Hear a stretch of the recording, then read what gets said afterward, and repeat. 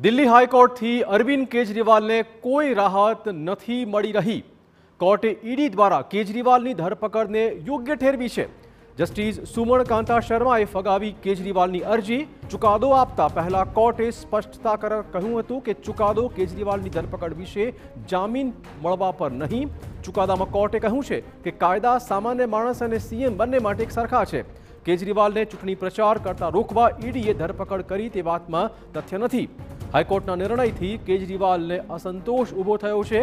આવતીકાલે સુપ્રીમ કોર્ટના દ્વાર ખખડાવી શકે છે અરવિંદ કેજરીવાલ. દિલ્હી આબકારી નીતિ કૌભાંડ મામલે ઈડીએ કેજરીવાલની કરી છે ધરપકડ.